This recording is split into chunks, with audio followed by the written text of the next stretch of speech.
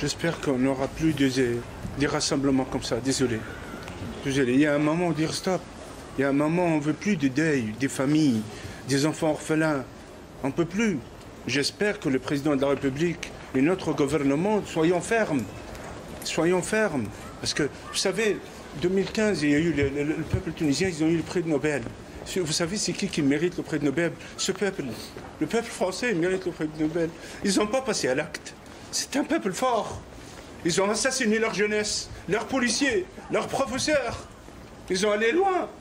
On n'a pas eu des attaques contre les mosquées, quelques-uns. On n'a pas eu. Moi, je le rends. Je suis fier d'être de ce peuple-là. Je suis fier d'avoir des enfants qui appartiennent à cette patrie. Et là, en même temps, le troisième acte.